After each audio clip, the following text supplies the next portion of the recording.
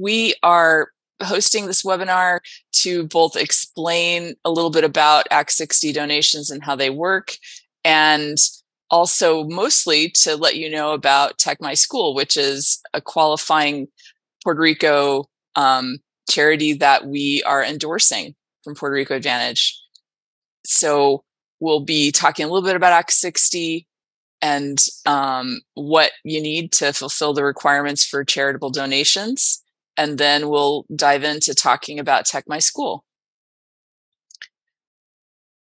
So um, if you are an Act 60 um, investor, or even if in the past you got an Act 22 investor decree from Puerto Rico, then you do have a requirement to make a charitable donation.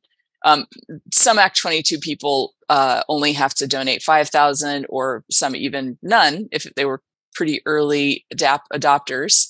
But um, Act 60 investors do need to donate 10K per year starting in their second year.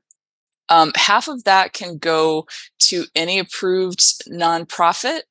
Um, so 1101 dash uh, dot 01 is the code in the Puerto Rico law that corresponds to 501c3, which you might be familiar with in the US. And Tech My School actually has both of those. Um, there's another half of the 5K that has to go to one that's approved on the CECFL list, which is about um, improving things for children in Puerto Rico or fighting child pro- poverty was the original way they said it. Um, Tech My School will soon be on that list too. They just are going through an approval process that should be over sometime next year. So by next year, they should also be able to qualify for both halves of the 10K. Um, you have to do the donations um, just by the end of the calendar year. You need to keep your receipts because at some point, if you're audited, you might be asked um, to prove that you did the donations. Um, and the biggest thing to remember is you also cannot donate to any nonprofit that you own or control. They will look at that. That uh, disqualifies them for the Act 60. Although obviously you could still donate your own money any place you choose over and above the Act 60. Can we go to the next slide? Yeah. So I'm going to introduce Robbie Cobbs, who is a friend and partner of ours. Um, we haven't really endorsed charities in the past through Puerto Rico Advantage, but we've had a lot of clients ask. And after meeting Robbie and hearing about Tech My School, we felt really good about them, just in terms of their transparency, the actual good that they're doing, and the qualifications that the leadership of Tech My School brings. So we're really excited to say, yes, we absolutely endorse this one um, for your charitable donations. So take it away, Robbie. Thank you uh, so much, and it's been such a pleasure working with you. Um, yeah, so generally speaking, uh, this is just overall general speaking. Uh, when it comes to nonprofits and donating, you definitely want to research the nonprofit that you're donating to. Um, one of the ways you can um, check to see kind of what's going on and, and how transparent um, the company is and where the money is going and those kind of things, you can use Candid or GuideStar. Um, ours is obviously up there. We're a, a, platinum transparency nonprofit. And then you can also um, very easily kind of see how things are going by volunteering. So if there's something that you're passionate about, if you have a little bit of time, it's always good to kind of see the people who are running the organization and um, I guess getting your hands dirty uh, would be a way of putting it. But um, yeah, so let's go ahead and move on. Uh, I'll quickly tell you uh, about our story. Um, this is my family. We are international educators. I'm originally from San Diego, California, and we had just been working at uh, various American international schools around the world. We were coming in from uh, Africa. So we, we had just finished a contract in Lagos, Nigeria, and we were taking a sabbatical um, I was writing a book on ed tech uh, for teachers to better improve their instruction and their career using technology. So that was uh, it. Um, so we chose Puerto Rico because it's obviously a beautiful place, and also because uh, you know it's kind of a bit of adventure, but it's also America. They have Costco, and uh, you know we we fell in love with it fairly quickly. Uh, I've been to 55 countries, and uh, yeah, Puerto Rico is a really special place. Uh, it's just got such a great combination of culture and, and weather. and uh, and the people and just everything. So we we fell in love and bought a house, and my little family's here walking on the beach. Um, but we have kids. We have an eight and a ten year old, and so we checked out a bunch of different uh, both public and private uh, schools on the island, and we were just absolutely shocked at the state of uh, education in Puerto Rico. Um, first, it was the eye test, seeing the classroom, seeing what was inside there, what was happening. And as an educator of 20 years, uh, you can kind of see through the matrix a bit. Uh, you you can see really quickly how things are operating and what kind of quality of education kids are getting. And it was just shocking to see kind of an African level uh, education happening here for all these American kids. And so it was just mind blowing. Like, how did this happen? Why is this happening? Um, and then we started doing some research, and the data was matching the eye test. Um, first, as you may or may not know, U.S. is Puerto Rico is a U.S. territory. It's been a part of America since before Arizona was a state. So it's not like this is a new colony or a new territory or a new uh, state of America. It's been with us for a very long time. Um, the you kind of get what you pay for. So Puerto Rican teachers are the lowest paid uh, by nearly double in, in, America, and partly to the re- result of that is that the average eighth grader here is going to score about at a third or fourth grade level in uh, the continental U.S. So it's three to five grade levels below that. Um, it's the worst in Europe, the worst in North America. Uh, Mexico's stronger, Thailand's stronger. And I'm talking about the public schools. Um, but what's strange about it is that Puerto Rico is America's third largest school district. New York's number one, LA's number two. So you have over 400,000 students that are getting this third, third, second to third world uh, level of education. And when you look at the money that's coming in, the U.S. government uh, gives based off of uh, you know the census data.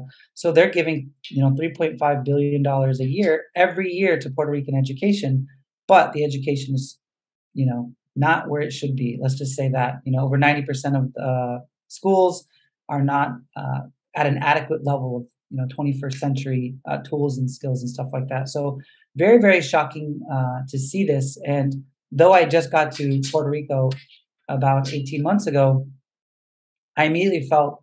I mean, they have a blue passport. I have a blue passport. They're American. I'm American. I grew. I went to public school in San Diego, and I had a really great education. And I can say that. I mean, honestly, it's a world class education if you compare it to so many other countries in the world. And I've I've been privileged to have that uh, experience, so I know the value of the education that American kids get, really at no cost to to parents. And to see so many American kids here uh, suffering, uh, really just suffering and, and, just sabotaging everyone's future on the island, um, it was uh, definitely a call to action for us.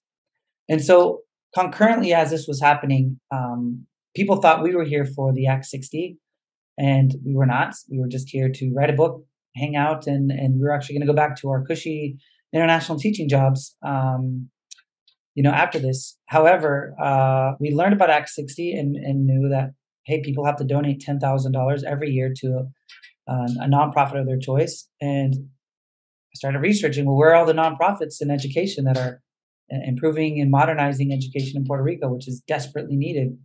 and I just we just couldn't find any. And the few education um, nonprofits we talked to, they they were not impressive by any by any means. So we just kind of looked at each other and said, let's let's do our thing, and and we created uh, Tech My School. So this is kind of how we are part of the solution. We cannot uh, control government. We cannot. Um, there's a lot of things that are out of our control. So we wanted to find a solution that was out of the box, but would help uh, the futures of all these American kids who are being not just left behind, just you know, com- they're on fire. They're they are completely uh, they're not even in the picture. Um, so, what is Tech My School? It's a nonprofit organization dedicating to modernizing and improving education um, in Puerto Rico, and we do so by better leveraging technology, among many other things. Really, it should be called Teach My School. Uh, the A is silent in the tech um, but we just don't want to offend anyone. And it's easy just to say, hey, would you guys like a free iPad? And then we can kind of go in there and work with schools. Um, so, yeah, our mission is to modernize the education of Puerto Rico. And our goal, our vision is to create highly skilled next generation entrepreneurs, innovators, and empowered learners so that they can maximize the, the human capital of Puerto Rico. And we also have these the, the, the green parrot as our uh, mascot and through our core values uh, because uh, it kind of symbolizes the uh, the unique culture and strength of Puerto Rico and uh, Puerto, uh, parrots are a very intelligent creature, so we just thought it was a great fit for us. Um, my wife and I are the founders. I began education actually at an American island school in uh, Honolulu, Hawaii, is where I started education in the inner cities there. And I, I was expecting it to be something similar to that here, but it's just so far below that, which is why we had to, uh, you know, start this endeavor. Um, but I had been a teacher for you know over ten years, and then I became a teacher trainer, and then I became a CTO, the like a tech director of schools, where my job is to think forwardly about um, education and where kids uh, will need skills uh, for 2035, 2045, and how do we get there and backward plan uh, from there. And then also just maximizing technology that we have now uh, in classrooms. And my wife, uh, also an educator, uh, been teaching since 2008. She's taught predominantly primary school, but then she also has done teacher training and she taught STEAM for a number of years. So yeah, we lived all around the world, and yeah, I wrote a book and um, masters in ed tech. So pretty qualified for the uh, the job that we're doing. We have a fairly large team of really highly qualified individuals who are superintendents, other tech directors, um, directors of development. Um, we have some retired educators, uh, we have some financial guys who are with Siemens. So a lot of really talented people are on our team, and these are all volunteers who uh, just believe in the mission and are trying to improve the education of Puerto Rico. And we know um, because we've spent you know our careers helping uh, instill lasting uh, change in schools, successful change, and for that to happen, you need to have a number of of different building blocks and so we ha- we have the formula to really make impactful change in schools. We're not just showing up with an iPad and then taking a picture and leaving. Uh, we're working with teachers every single uh, week, every month, with directors every day. They're on the phone. We're texting, um, and then we have uh, classes for kids. We're doing we're doing it all, but we know the the building blocks that come in that are a part of this. So, and this is something that that we've been doing. We've been doing uh, educational conferences and teaching other uh, school leaders on how to uh, ensure you have successful uh, blocks for change. We focus on three uh, service fundamentals. So that's improving educational uh, systems, building the capacity of others, and empowering kids. So basically, we all want kids to succeed, but unless you have systems that work and people who know what they're doing, that's not going to happen. So that's kind of the three facets that we focus on. And so what it kind of looks like is essentially uh, equipping uh, classrooms with the latest technologies, training educators on uh, you know the skills they need, and then ensuring kids are getting these skills so they can create, contri- contribute, and um, compete in the informational economy. And then for schools, how it works: any school on the island, um, really, they reach out to us or we find them, um, and they say, "Hey, we need help," and we say yes. It's just as simple as that. Um, we then go in and do a needs assessment. It's a 130 point um, needs assessment, and we create a plan. Uh, we create a one year plan and a four year plan, where they are for this year, and then how we're going to get for the next four years. And then based off that plan, we uh, find what resources we need to deploy it, and then we work for free. It's all the work, all the things that we do for schools here are free, simply because the teachers are making you know fifteen hundred dollars a month. Schools don't have libraries; they don't have uh, it's it's insane uh, the lack of resources and lack of um, just capital these schools have. So um, yeah, the, the model is for schools to it says we want to make it as easy as possible for schools. And then throughout this process, we collect data, we refine this uh, our practice through this data, and then we have that drive what we do. And uh, yeah, it's been a very uh, fun and successful uh, model thus far with the schools. And we have a multitude of services. You can check this out on our website. But you know, from teacher training, administrative collaboration, student empowerment, really we go in and we, we break a school down and build it back up. Um, but we do so uh, very gently and in partnership with the schools because uh, it's important for them to embody uh, the change and for them to want the change. So again, as long as they say yes and they agree to their end of the bargain and, and they're doing their part, it's a really uh, great uh, great thing for Puerto Rico. And so here's some um, media and exemplars, um, just different things that we've done, whether it's you know professional developments to building websites for school, lots of training, lots of planning, um, volunteers stepping in and, and working with schools, uh, ensuring kids get the right skills, and uh, partnering with NGOs, um, etc. So uh, it's been really great. It's been a really great journey so far.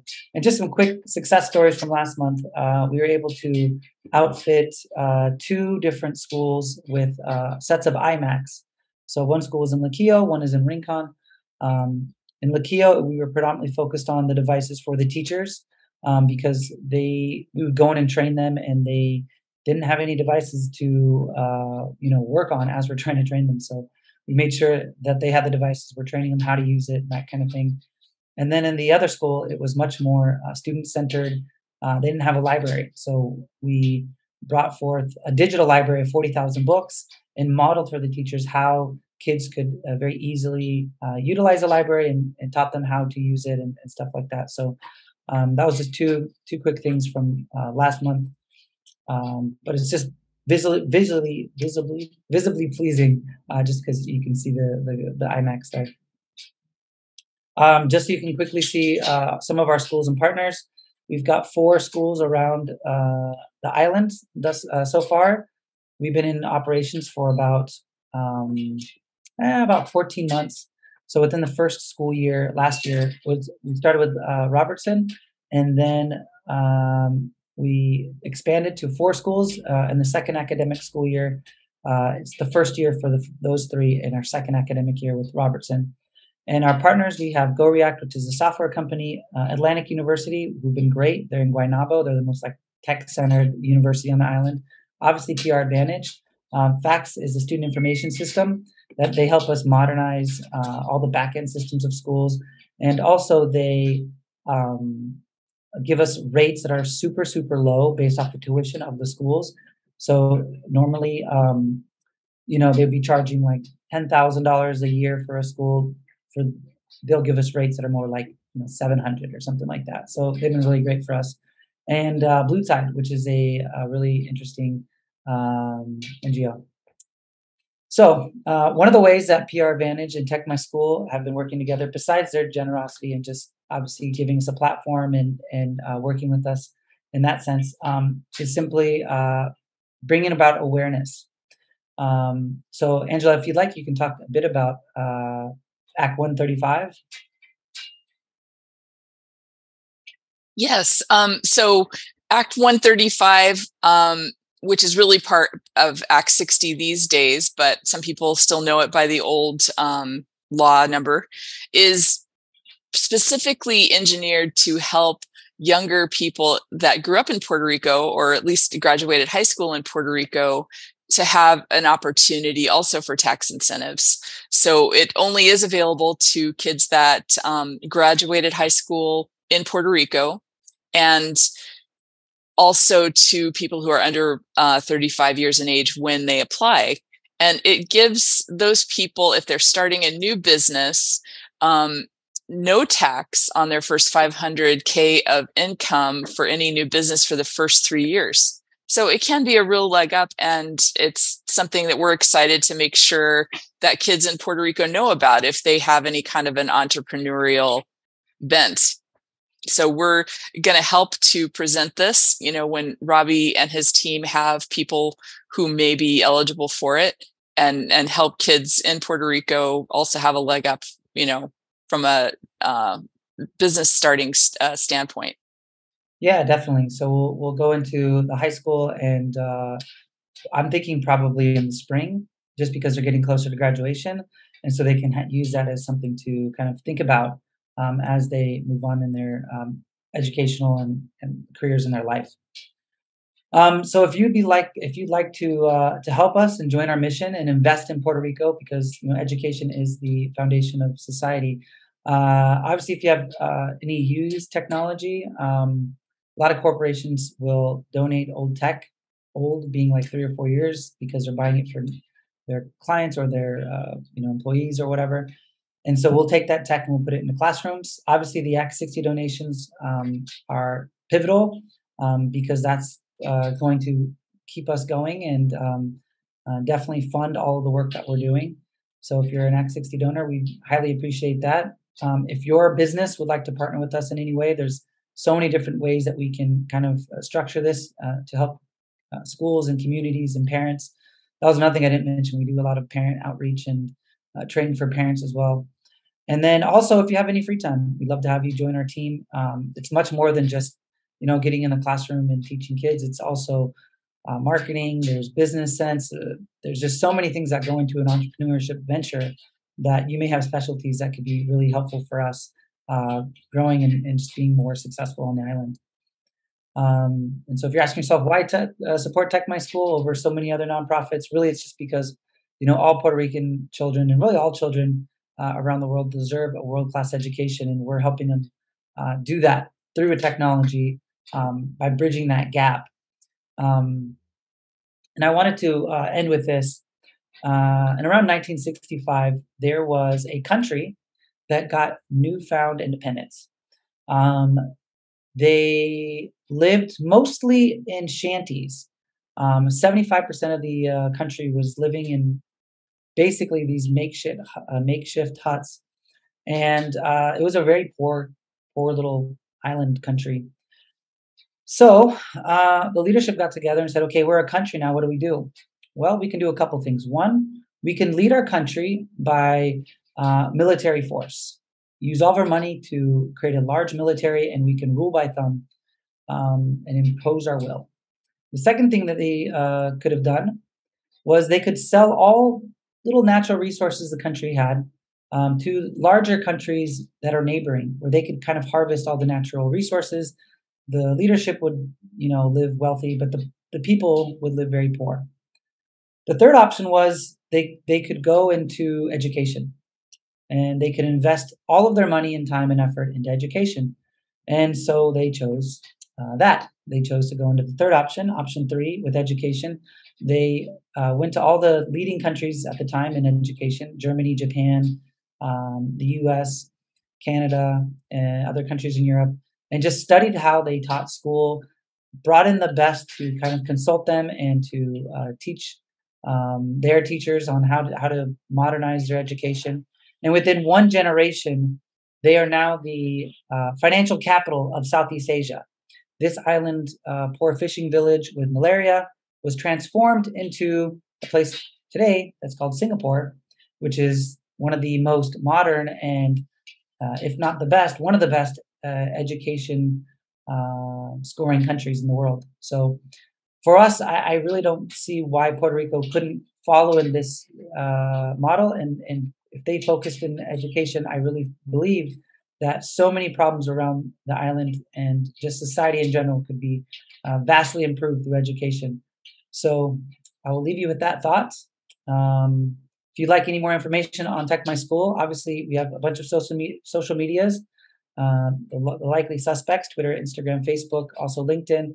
Um, our website is techmyschool.org, and uh, yeah, my number is there. We're fully transparent with anything you'd like to see. We'll show you everything if you're interested, um, and our EIN number is there as well. So fully tax deductible, and that is it's, I think, do we have any questions?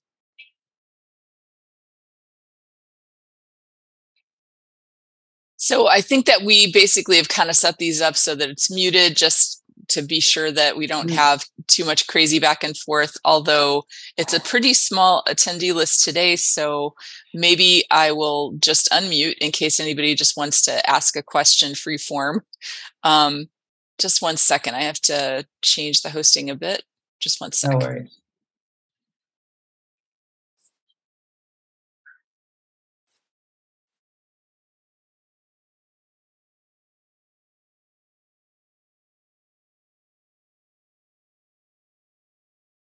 Okay. So anybody who is um, on who wants to ask a question, this is your time. If you have any anything to ask, feel free. Um, Angela, I have a, uh, a question. Um, what are your thoughts on the perception of Act 60 residents uh, locally here in Puerto Rico? And how could Tech My School change that uh, kind of reputation if uh, they were to, to be a part of this mission? So I think that's a fantastic question. Um, basically, um, a lot of people in Puerto Rico aren't really a huge fan of the Act 60 investor program. Some people um, are more indifferent to it. Some people even like it, but there are a few, especially the people who are more vocal, tend to be the ones that don't like it. And there's a perceived unfairness, which isn't necessarily um, unfair to say um, because it's not something that people who grew up in Puerto Rico and never left Puerto Rico can get. It's something only eligible to people who have been out. If you lived in Puerto Rico your whole life, you'd have to leave for a while, for several years during a specific period to be able to apply. So, you know, there's some resentment. Um, and that's only kind of grown over over the years. There are some of us who've even contributed to that by maybe not always being so polite or so like embracing of the puerto rico culture.